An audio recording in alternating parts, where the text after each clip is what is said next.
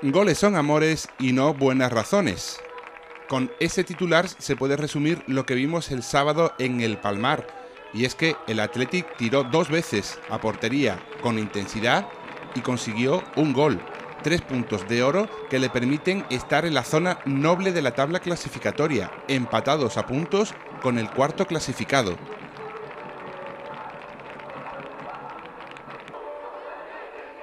Novedades en el once inicial. Desde el inicio, Carlos Fernández, el goleador del Atleti que ya lleva tres goles. Minuto de silencio emotivo. Fallecía la madre de Carlos Santander y todo el mundo, con seriedad, homenajeó a una atletista que se nos fue,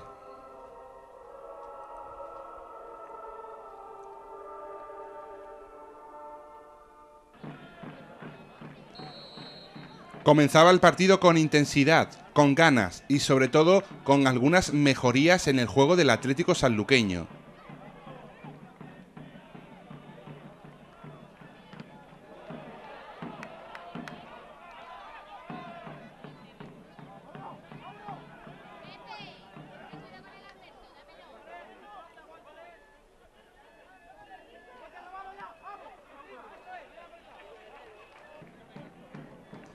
Carlos Ríos, que vio su segundo partido desde el banquillo, pudo Carlos Ríos, que vio su segundo partido desde la grada, pudo observar la mejoría experimentada en sus pupilos, especialmente en este hombre, Chico, en su posición de pivote defensivo, ofreció su mejor versión de lo que llevamos de temporada.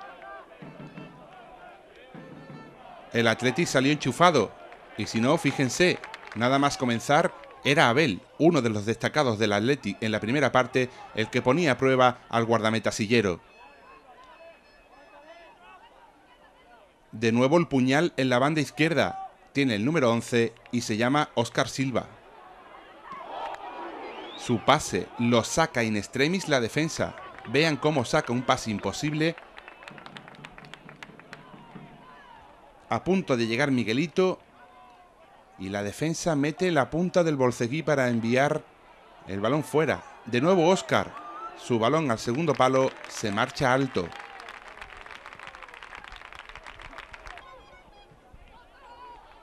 El Atleti tenía embotellado a un débil Córdoba B. Las entradas eran constantes por esta banda. Ahora el disparo de Oscar lo saca de nuevo la defensa. Eran momentos de agobios, aunque no de oportunidades claras.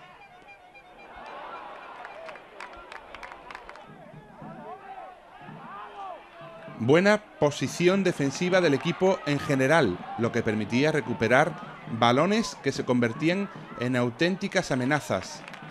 Bien Abel.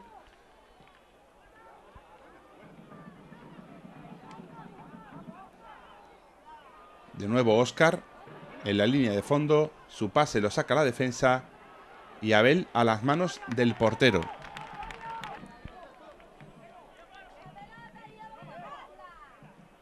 El Córdoba se veía sorprendido y aquí la lesión inoportuna como siempre, en este caso de Chico. Todas las lesiones lo son, pero en este caso mucho más, porque estaba cuajando una buena primera mitad el jugador sevillano del Atleti. Habrá que esperar a la evolución de esa rodilla para saber la gravedad de la misma.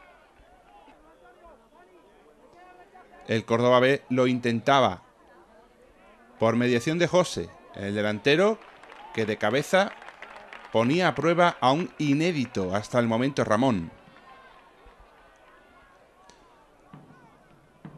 Vean cómo saca, cómo la para Oscar y cómo Carlos Fernández está a punto de sorprender. Su pase de la muerte no encuentra rematador. Y aquí la jugada más interesante de la primera mitad. La falta sobre Bellingui, también de los destacados del encuentro, está a punto de meterla a Oscar. La pelota da en el palo y Dani en principio no es capaz de empujarla. No se lo esperaba. Vean la repetición como Oscar la pone, Sillero no llega, le da al defensa y Dani no puede meterla para adentro. Casi a punto de finalizar la primera parte es Miguelito el que lo intenta de lejos. Y en esta jugada, a balón parado, llegaría la finalización de los primeros 45 minutos con un empate a cero que no disgustaba en exceso. Y es que el saluqueño había ofrecido una buena imagen, pese a todo, en esta primera mitad. Comenzaba la segunda y lo iba a hacer con la jugada prácticamente en el inicio del único gol del partido. Esta es la previa. Una falta en contra, a base de casta, a base de lucha, a base de entrega, se convierte en un contragolpe letal. Carlos la toca, de nuevo la pelota que viene para Dani, y vean el balonazo orientado de Dani. Miguelito, con calidad para el goleador Carlos Fernández.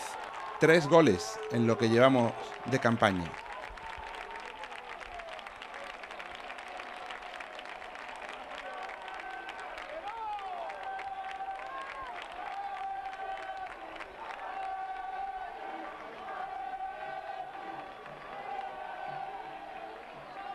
Vean de nuevo la jugada, como Miguelito con pierna derecha habilita a Carlos Fernández que pone por delante a su equipo.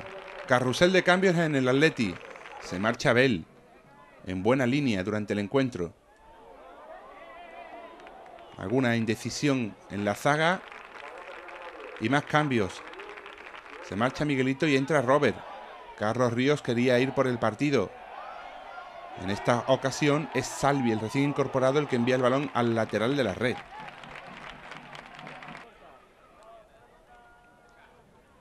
Y al final, los sustos. Vean cómo en esta jugada que deja al árbitro seguir, se va a plantar ahí Miguel y la parada en dos tiempos de Ramón, salvando a su equipo. Y la jugada polémica del encuentro en el tiempo añadido, minuto 49. Bellingui llega a proteger, lo empujan con tan mala fortuna que termina dándole con el pie lo justo para que atrape el portero. Al final es Oscar Silva el que salva a su equipo. En el tiempo de añadido, fíjense cómo sale Oscar y la pelota le da en la pierna. Tres puntos magníficos para un equipo que vive con tranquilidad en la zona alta de la tabla clasificatoria. Hay que seguir mejorando porque este equipo tiene mucho margen de mejora en lo que queda de campeonato. Por el momento, a disfrutar de la victoria. Enhorabuena.